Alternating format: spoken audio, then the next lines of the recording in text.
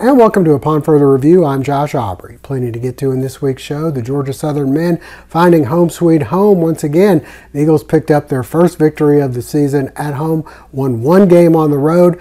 They've been on the road for the past couple weeks. Then this past week, Thursday and Saturday, two big victories for the Eagles who improved to 4 and 3 in conference play. They knocked off Coastal Carolina in a close game on Thursday and turned around and blew out Georgia State on Saturday. The news not as good for the women who went on the road and dropped a pair of games. They are now three and four in conference play. They'll be returning home for a Wednesday. Saturday turnaround, six o'clock on Wednesday, and a game on Saturday at two o'clock against Marshall. Uh, as for the um, area high school basketball, we had a Three big games for the Portal Panthers this week, two at home, one on the road. The big road game coming against Jenkins County, who is ranked seventh in the state. The Panthers, number two. They were able to win that game. The girls were leading late in the game and ended up losing 34 to 32. The guys won all three of their games this past week. We'll send you out for highlights of those games as well as Southeast Bulloch with a big victory at home in a region matchup against Wayne County. All that and more coming up on Upon Further Review. Reminder before we go to break hopefully you'll never be in an accident, but if so, please give our friends at the Sullivan Law Firm a call 912 489 8888 or online at thesullivanlawfirm.com. Cook's Pharmacy, located on Highway 80 East, is family owned and operated by Lynn and Janie McCook, as well as their son, Josh McCook. Serving the Bulloch County area since 2005, McCook's Pharmacy offers fast and friendly service where the customers come first. Vaccinations are available, including shingles, flu, pneumonia, and Tdap. Drive through service is available with two drive through windows for your convenience. McCook's Pharmacy offers free local deliveries, and new customers are always welcome. Continuing the tradition of our family caring for your family, McCook's Pharmacy, Highway 80 East. Eagles spirit and style are a priority around here, and that's why the University Store, the official outfitter of Georgia Southern, offers everything you need to be game day ready. The University Store carries the largest inventory of licensed Georgia Southern apparel, accessories, and spirited merchandise. Show your spirit with tents, flags, and chairs. Show your style with polos, hats, dresses, and jerseys. Visit us in store at our stadium shops or online at gsustore.com. Show your spirit from tailgate to touchdown with the University Store today. Well, the Georgia Southern Eagles with a pair of games on Thursday and Saturday at home. The men have not been home in quite a while. They had three straight uh, games on the road. Came back to the friendly confines of Hanner for a pair of victories, a close one against Coastal on Thursday, and then they took care of business and blew out Georgia State on Saturday. The Georgia Southern fans happy to see the Eagles back home at Hanner hosting Coastal Carolina. Tyron Moore driving, and he'll get the friendly roll here. Next, we go outside where Aaron Banks drills the three pointer. Back inside we go. And it's Colin Cool hitting for two. The Eagles up by one. Coastal comes back to take the lead on this hook shot by Jenica Ojiko, but the Eagles storm back. Aaron Banks loads up and hits another three. And then Tyron Moore driving hard to the bucket. Kisses this one off the glass. Nate Bradford showing he's got some moves, driving in with his left hand and finishing. And then it's Aaron Banks once again living up to his name with the bank. He finished the way leading with 19 points. Banks continuing to have success driving in here. He gets two more to fall. The Eagles up by one at the half. We move ahead to the second half. Coastal comes back to take a lead, but the Eagles prove to be too much. Two more for more. He had 17, and Georgia Southern wins 73 to 70.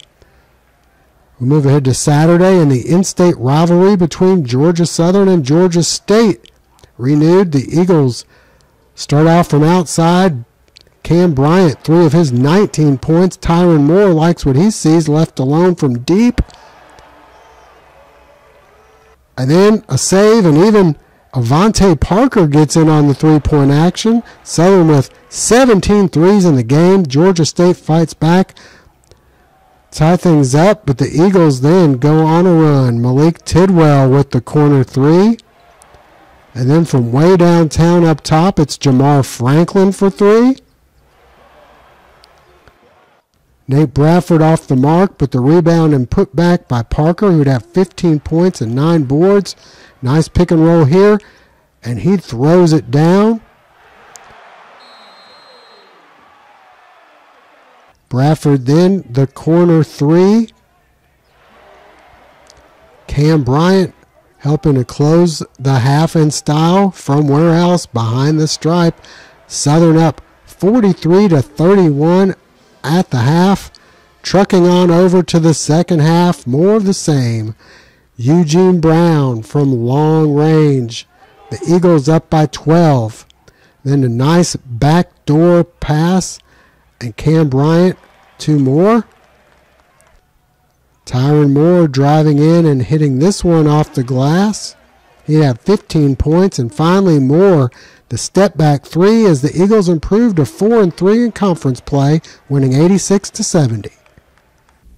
Well, next up for the guys, they'll be on the road for a pair of games. The women coming back to Hanner Wednesday, they'll be playing at 6 o'clock at Hanner Fieldhouse, and then on Saturday, they'll be playing at 2 o'clock against Marshall, the uh, Wednesday game against Georgia State. All right, stay with us. High school action coming up next. There's a time for playing it safe and a time for whiskey business. Located on the corner of Highway 80 and East Main Street, Whiskey Business has one of the largest selections of bourbons as well as an allocated selection of bourbons and top shelf liquors. Featuring the coldest walk in beer cave around, a great selection of IPA and craft beers as well as domestics. They also sell ice, mixers, champagne, wine with all your favorite brands. Whiskey Business also has a fully stocked cigar room with humidors, cigar cutters, torches, and other accessories featuring brands like Man O' War, Buffalo Trace, Macanudo, and Rocky Patel. Open Monday through Wednesday, 9 to 9 p.m., Thursday through Saturday, 9 till 10 p.m. Stop by and see them today.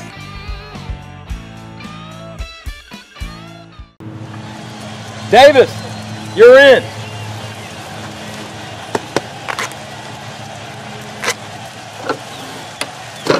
You tired of being on the sidelines? Let's get you in the game. GATA, get after those assets.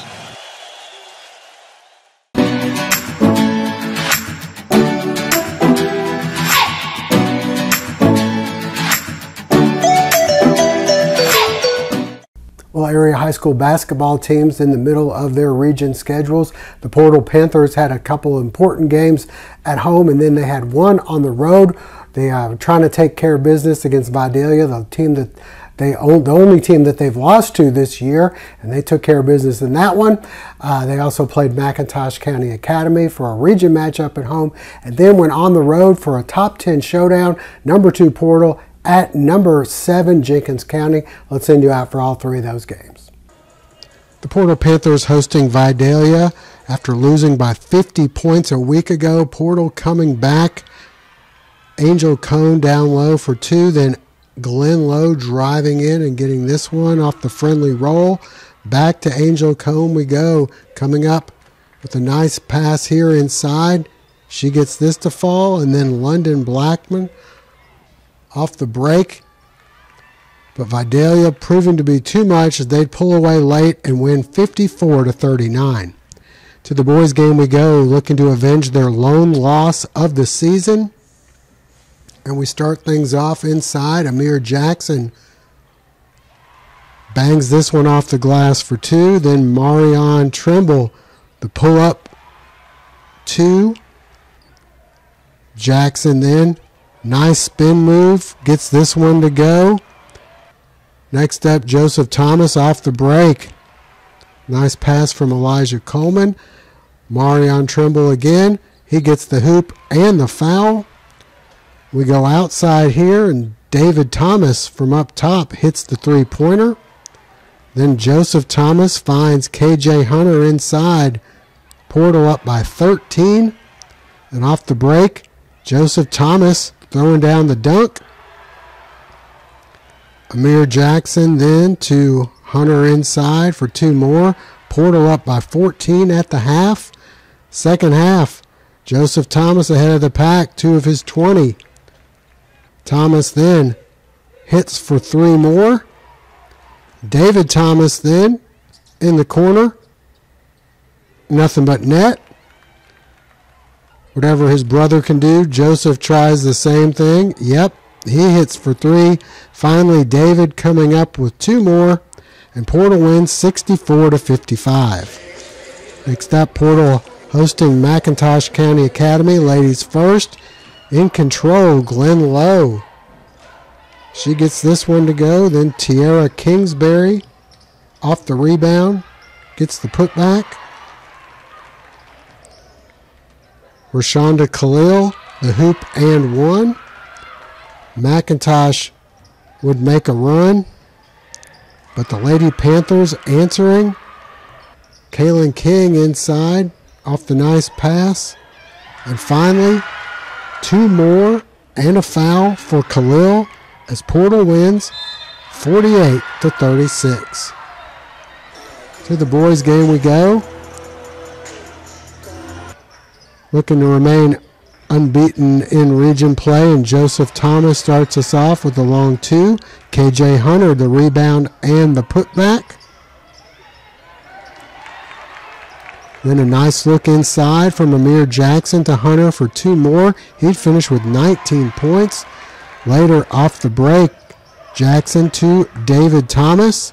The one handed jam. McIntosh able to keep it close for a while. Hitting the three and then the layup. But even when they score here, take a look. Amir Jackson playing quarterback, hitting Elijah Coleman for the easy two. David Thomas then driving in for the hoop and the foul. Coleman spotting up, knocking down the three. Jackson driving and finishing with the left hand. Then it's Jackson from about the free throw line. And then Jackson drives. And he'll look inside to KJ Hunter once again, and they'd roll 57 44. To Jenkins County, we go. The Portal Girls building a 10 point lead with three minutes left in the game, but Jenkins catches fire. Talea Milton for three. And then Shania Lake, the steal and the bucket. And Jenkins County wins 34 to 32. The number two ranked Portal Panthers traveling to Millen to take on number seven ranked Jenkins County before a packed house. The Eagles coming out on fire, everything falling their way. James Allen banks this one in a little bit later from way downtown. ZZ Wilson with the long three, but Portal, after being down by 14 to 2, comes back. Amir Jackson, the hoop and one. Joseph Thomas, the pull up jumper from just inside the stripe. And then it's Jackson sprinting past the defense. They go on a 19 to 2 run to take a five point lead. Marion Trimble gets the two to fall inside. And then it's Jackson shooting over the defense for two more. David Thomas driving baseline and getting this one to fall. And then on the break, Elijah Coleman with the layup. Portal up 29 21 at the half, second half, and Jenkins County storms back to go on an 8 0 run to open the half. Wilson with the two, and then Portal coming right back. Joseph Thomas for three. Wilson then hits another long rainbow three to keep them within striking distance, but Portal going on a run themselves. David Thomas for two.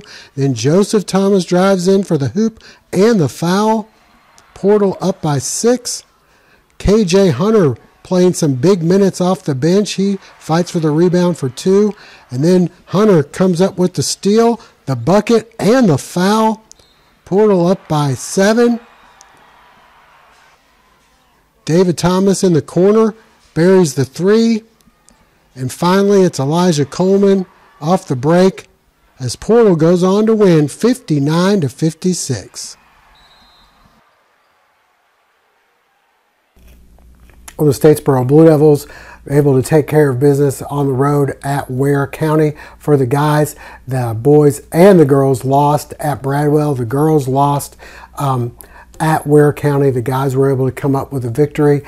They've been on the road for a while. They come home Tuesday for a region matchup with the girls beginning at 6 and the boys at 7.30. As for the Southeast Bulloch Yellow Jackets, they picked up a big, a big victory over Wayne County on the boys' side of things. The girls not as fortunate. Let's send you out for highlights of that game.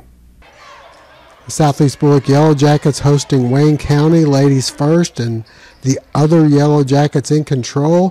Taylor Ward for three, and then Ward off the break goes all the way in for the layup, and they'd go on to win 64 to 30. To the boys game we go, and this one was all Southeast Bulloch from the opening tip-off. Take a look here, nice play. Zach Wells goes in. Then it's Wells on the break, driving for two more. More from Wells, the up and under move here, nice one. Brendan O'Dowd then left alone up top, and he buries the three. Wayne County tries to come back from outside, but Southeast Bulloch in command throughout. Christian Lennon on the break, able to finish. Zach Wells then hits for three. He'd finish with 30 points in only three quarters of play. Wells then drives in, hits for two more, and finally, it's Lennon on the break going all the way in, and Southeast Bulloch rolls 77 to 46.